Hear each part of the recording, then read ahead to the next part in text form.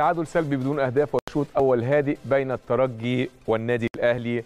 واصل فاصل وبعدين نرجع نواصل مع حضراتكم مع نجومنا الكبار عن أحداث الشوط الأول. أرجوكم انتظروا بنرحب بيكم مرة ثانية أعزائي المشاهدين. كابتن علاء آه، بداية طيبة من النادي الأهلي ولحد دلوقتي النادي الأهلي قدر يتفاعل اللعيبة بسرعة جدا ويخش في أحداث المباراة.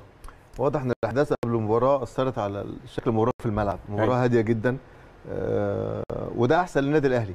صحيح. يعني الهدوء ده أحسن لكن آه، بتمنى إن نستغل يعني نستغل الهدوء إن تحرز هدف.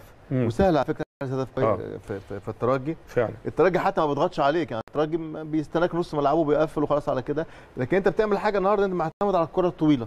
بما انك يعني لاغي نص الملعب. لو بالعكس لو استغليت عمرو السولية ديانج حمدي فتحي وطلعت بالكره أسهل بكتير جدا.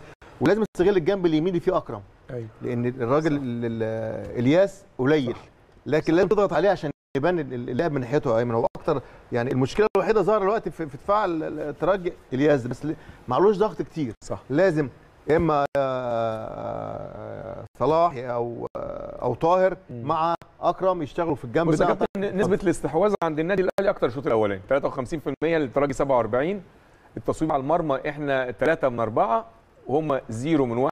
الكره الوحيدة طلعت بره تسلل هنا واحد هنا zero ركنيات 3 3 ما أنا بقول لك يا ايمن لكن لازم تستغل ال- ال- الهدوء ده. وما تضغطش عليك لكن تبقى حذر شوية ان في مم. كورة طلعها الشناوي آه، كان ممكن يعني تقلب الشوط ده مع إنه مش صحيح. احسن منك صحيح فعشان كده بقول لك أنا لازم لعيبة النادي الأهلي تطمع شوية في المباراة. يعني ممكن يبقى في قلق من البداية لكن ال- القلق ما- لو ما فيش فريق الترجي مش مش الفريق المقلق يعني صحيح. مش ضاغط عليك أو صحيح. عمل عليك ضغط صحيح أعتقد بس هو شوية طمع في المباراة إن مظبوط. شاء الله ممكن تخلص المباراة دي في الترجي إن شاء الله بإذن الله رب العالمين كابتن آه، بلال يمكن كابتن علاء قال حاجة قال إن إن إحنا محتاجين سن الطمع في المباراة. على العكس تماما أنا شايف الترجي ما عندوش طمع في المباراة حتى الآن. بص يمكن من من بداية المباراة يبان لك الترجي مش الفرقة الكبيرة مش الفرقة الثقيله مش الفرقة اللي تخاف منها خوف شديد. ولكن هو آه. عنده بص بص الوقفة بتاعتهم يا كابتن إحنا كنا بنتكلم عليها. آه. هم واضح إن هم بيلعبوا 4 1 4 1 بالظبط.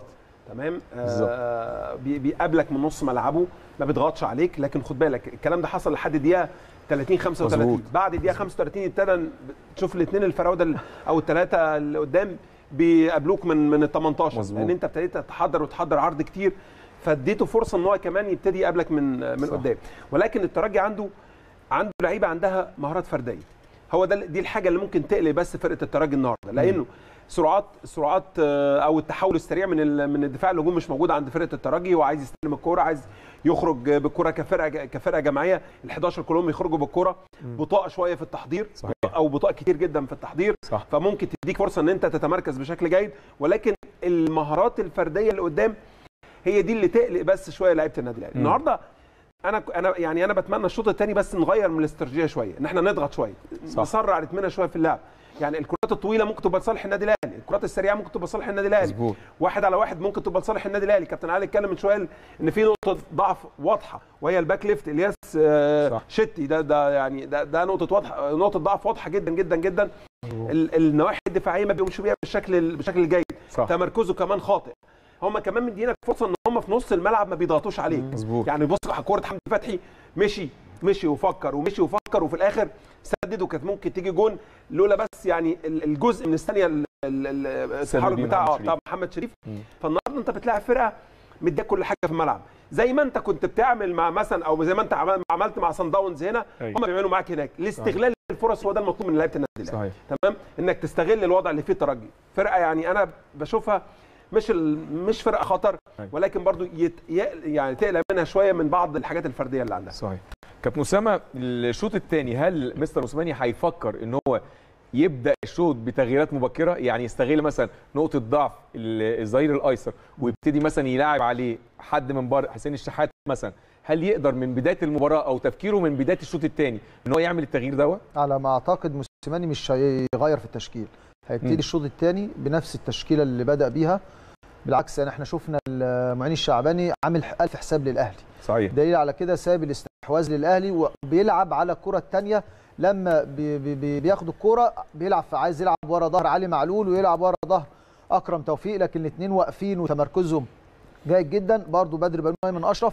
لكن لازم نخلي بالنا الهفوات ال- ال- الدفاعية الرقابة هي المباراة دي هي مباراة الفرصة الوحيدة. مش هتلاقي في فرص كتير في في الطرفين. لكن النهارده لازم يبقى عندك تركيز كرة الشناوي هايل فيها.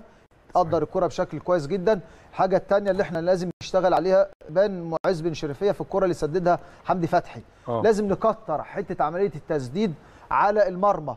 بمناسبة حمدي فتحي يا كابتن أنا بشوف جدا بص إحنا بدأنا بتحس إن في ثلاثة ورا حمدي فتحي بيسقط في التحضير.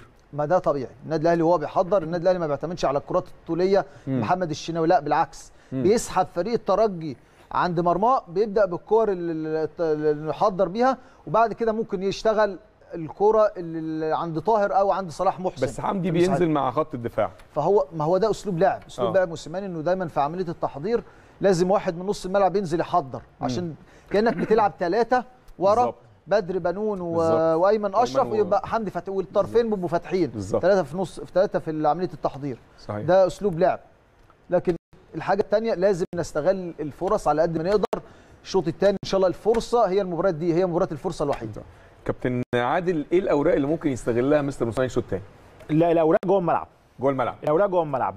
مستر موسيماني من ده أنا شايفه إن ده أفضل شوط تكتيكي ليه من ساعة. ما دخل النادي الأهلي.